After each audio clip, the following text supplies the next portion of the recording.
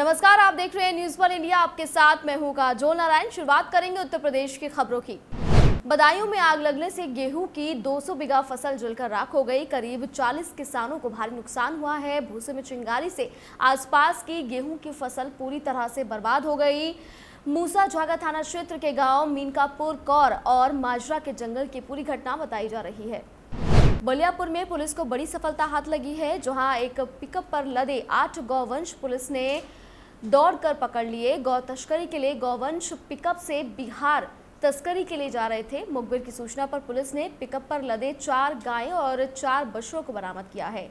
गाड़ी में बैठे दो तस्कर गिरफ़्तार कर लिए गए हैं। दो फरार बताए जा रहे हैं। पकड़े गए तस्कर से पुलिस पूछताछ कर रही है।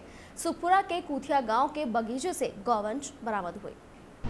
बलिया में आजीवन अविवाहित होने का प्रण लेने वाले हाथी सिंह ने शादी रचा ली है। ग्राम पंचायत महिला आरक्षित सीट होने पर आनंद फानन में शादी रचाई। समाज सेवी जितेंद्र सिंह लंबे समय से ग्राम प्रधान चुनाव की ग्राम सभा में काम कर रहे थे और इसकी तैयारी भी कर रहे थे। ग्राम प्रधान बनने के सपने को टूटता देख, बिना मुहूर्त होने के खरवास में ही शादी रचा ली। साठ साल की उम्र में समाज सेवी जितेंद्र सिंह ने शादी रचाई है।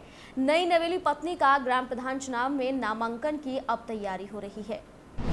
ललितपुर में अज्ञात चोरों ने घर को निशाना बनाया। सोना चांदी के जेवर नकदी पर हाथ साफ़ किया और फरार हो गए। चोर गिरोह पुलिस को लगातार चुनौती दे रहा है, लेकिन पुलिस हाथ पर हाथ धरे बैठी हुई नज़र आती है।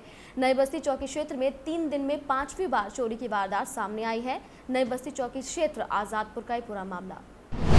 बिजनौर में एक ऐसी कलयुगी पत्नी जिसने अपने रिश्तेदारों के साथ मिलकर अपने ही पति की कत्ल की साजिश रच डाली। वो भी महज इसलिए कि पति उससे प्यार में रोड़ा बनता जा रहा था। मोबाइल सर्विलांस के ज़रिए पुलिस ने आरोपी पत्नी और दो लोगों को गिरफ़्तार कर हत्या का मामला दर्ज कर जेल भेजने की कवायद शुरू कर दी है। औरैया में स्वच्छ भारत मिशन में घोटाला सामने आया है। शौचालय के नाम पर लाखों रुपए का गबन सामने आया। आधे अधूरे शौचालय बनवाकर खानापूर्ति की गई है। प्रधान और सचिव ने मिलकर शौचालय में घोटाला किया है। अछलदा ब्लॉक के दसेरा ग्राम पंचायत का एक पूरा मामला। फिरोजाबाद में नगर निगम की सरकारी बुलेरो कार ने बाइक सवार को टक्कर मार दी, जिसमें बाइक सवार युवक गंभीर रूप से घायल हो गया। घटना से गुस्साए लोगों ने एनएच टू पर जाम लगा दिया। सूचना के बाद मौके पर पहुँची पुलिस ने लोगों को समझा बुझाकर जाम खुलवाया और घायल को ट्रामा सेंटर भेज दिया है, जहाँ डॉक्टरों ने युवक को आगरा रेफर कर दिया। संभल के रजपुरा इलाके में करंट लगने से 20 साल के युवक की मौत हो गई। युवक की मौत से परिवार में कोहराम मच गया। ये घटना रजपुरा थाना क्षेत्र इलाके के गाँव सिंघौली पूर्वी में हुई है, जहाँ 20 वर्षीय युवक राजू अपने घर से मोबाइल चार्जिंग पर लगा रहा था। इस दौरान मोबाइल चार्जिंग में करंट दौड़ गया। इसकी चपेट में युवक आ गया और उसकी मौत हो गई। औरैया में भाजपा पूर्व नगर अध्यक्ष नागेंद्र सिंह सेंगर को तीन साल की सजा सुनाई गई है। किशोरी से छेड़छाड़ के आरोप में जेल भेजा गया था। पॉक्सो कोर्ट ने सोलह हज़ार अर्थदंड सहित ये सजा सुनाई है। आदर्श नगर पंचायत अछलता में नामी सदस्य भी हैं आरोपी नागेंद्र सिंह। प्रतापगढ़ में मुखबिर की सूचना पर पुलिस ने लगभग 300 पेटी अवैध शराब को जब्त किया है। शराब माफिया गुड्डू सिंह के बोरिंग के घर पर पुलिस ने छापे मारकर अवैध शराब को पकड़ा।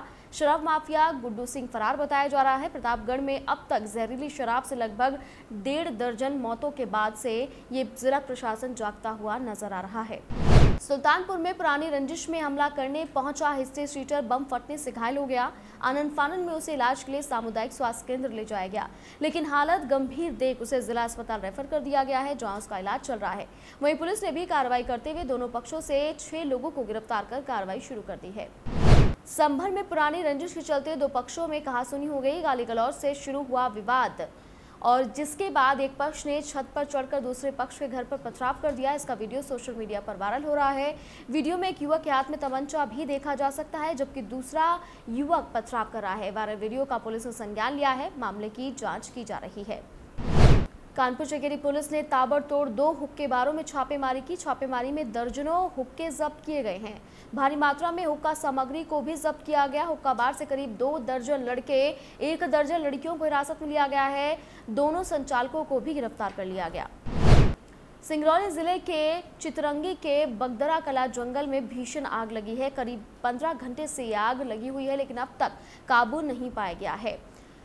सैकड़ों एकड़ में आग फैलने की आशंका बताई जा रही है, आग की चपेट में कई जानवर जीव जंतु भारी तादाद में जलने की आशंका है। मौके पर रात में एक फायर ब्रिगेड की टीम पहुँची, लेकिन सड़क के अभाव में अंदर नहीं पहुँच सकी।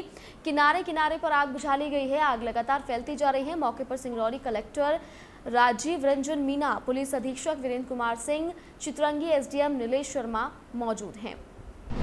अलीगढ़ में सबूत और कानून पर विश्वास पुलिसिया कार्रवाई को कटघरे में खड़ा कर देने वाला एक मामला सामने आया।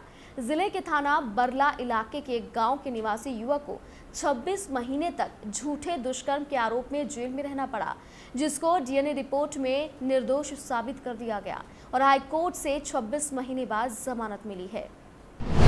हाथरस के सासनी के गाँव बसई काजी में ग्यारह हज़ार की विद्युत लाइन का तार टूटने से गेहूँ की खड़ी फ़सल जलकर राख हो गई। मौके पर ग्रामीण पहुँचे हैं। कड़ी मशक्कत के बाद आग पर काबू पाया।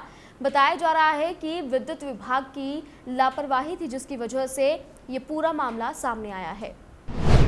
और इसी के साथ यूपी की खबरों में इतना ही। आप बने रहिए न्यूज़ वर्ल्ड इंडिया के साथ।